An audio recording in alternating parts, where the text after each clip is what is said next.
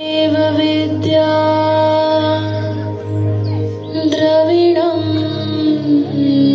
त्वमेव এক বিশেষ অনুষ্ঠান যি অনুষ্ঠান প্ৰত্যক্ষ কৰি সকলোৱে হৈ পৰিল আৱেগিক এই কাৰ্যসূচী আয়োজন কৰাৰ পিছত এখন বিদ্যালয় আহিল চৰ্চালৈ হাইলাকান্দি জিলাৰ সৰস্বতী বিদ্যা নিকেতন ছিনিয়ৰ ছেকেণ্ডাৰী স্কুলৰ উদ্যোগত বিদ্যালয়ৰ চৌহদত সমৰ্পণ মাতৃ পিতৃ পূজা বন্দনা অনুষ্ঠান আয়োজিত হয়। ছাত্ৰ ছাত্ৰীসকলক পঢ়া শুনাৰ লগতে পিতৃ মাতৃক অভিভাৱকৰ প্ৰতি থকা সন্মান দায়িত্ব পালনৰ শিক্ষা দিবলৈ এনে কাৰ্যসূচীৰ আয়োজন কৰা হয়।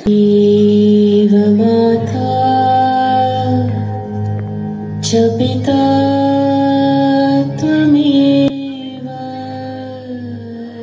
প্ৰতিজন ব্যক্তিৰ জীৱনৰ আটাইতকৈ মূল্যৱান সম্পদ পিতৃ মাতৃ আমাৰ জীৱনৰ মূল আৰু গুৰুত্বপূৰ্ণ অংশ হৈছে মা আৰু পিতা।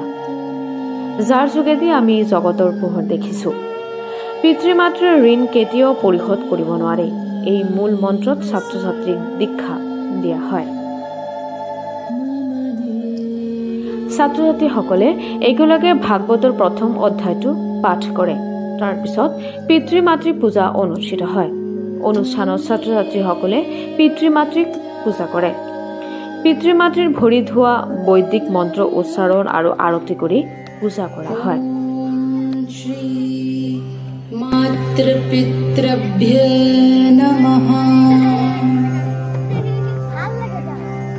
পিতৃ মাতৃ ঈশ্বৰৰ আন এক ৰূপ। বিভিন্ন শাস্ত্ৰত কোৱা হৈছে যিজনে পিতৃ মাতৃক সন্মান আৰু যতন কৰে তেওঁ কেতিয়াও পৃথকে ঈশ্বৰক উপাসনা কৰাৰ প্ৰয়োজন নাই.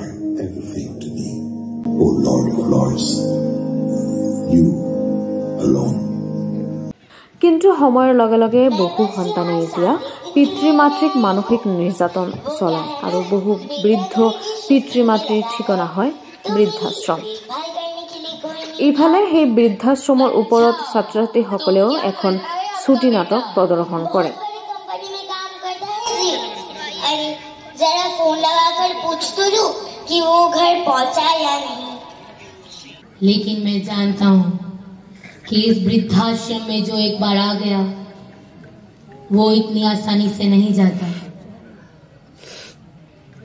आप ना बेकार की बातें करते हैं मुझे नहीं रहना यहाँ। मैं अभी अपने बेटे को फ़ोन करूँगी। फ़ोन कट गया, शारदा जी।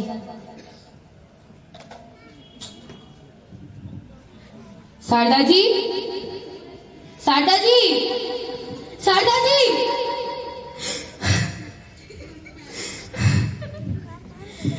ये पहली बार नहीं हुआ है मेरे साथ।